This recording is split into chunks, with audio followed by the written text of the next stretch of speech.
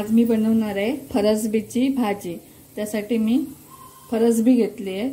चांगली अशा प्रकारे. अशा प्रकारे फरसबी घेतली आहे. ती चांगली मी साप तोडून तुम्ही चिरूनही घेऊ शकता. मी तोडून त्याचे देठ काढून साफ करून एक वाटी फरसबी घेतली आहे. मी अशी तोडून घेतली आहे. त्याचे देठ काढले. तुम्ही कापून पण घेऊ शकता. असे तोडून पण छान लागतात तुकडे. असे तोडून घेतले. तुम्ही काटून पण घेऊ शकता. वाटी मी फरसबी घेतलाय. एक कांदा घेतलाय. ओला नारळ घेतलाय. ओली मिरची घेतली आहे हिरवी मिरची. तेल घेतलंय आणि मोहरी घेतले फोडणीसाठी. आणि चवीपुरतं मीठ एवढं आपल्याला साहित्य लागणार आहे. आता मी तेच एक पॅन घेतलंय. त्यामध्ये तेल टाकते. आणि बनवणार आहे फरसबीची भाजी. आता पॅन गरम झाला की मी त्यात टाकते राई.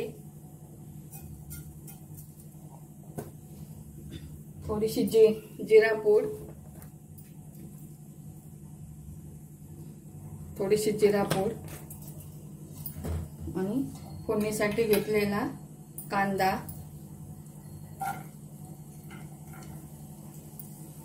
कांदा थोडा परतून घेते मी.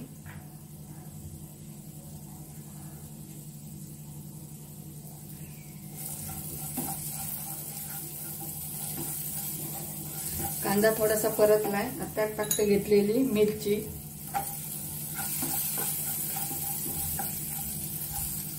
आता कांदा मिरची माझी परतली. आता मी घेतलेली एक वाटी फरसबी टाकते. परतून घेते. परतलीचे मोठेच तुकडे घेतले. त्यात मी हळद टाकते. चवीनुसार मीठ टाकते. आणि शिजण्यापुरती थोडंसं मी पाणी टाकते. थोडंसं पाणी टाकलंय. कमी आहे भाजी. फरसबी पण आपली लवकर शिजते. आणि दोन मिनिटासाठी मी शिजायला ठेवते. आता माझी फरसबीची भाजी शिजली आहे. तयार आता माझी फरसबीची भाजी चांगली शिजली आहे. तयार आहे. आता मी त्याच्यावर ओला घेतलेला नारळ टाकते आणि परतून घेतली. आता तयार आहे आपली फरसबीची भाजी.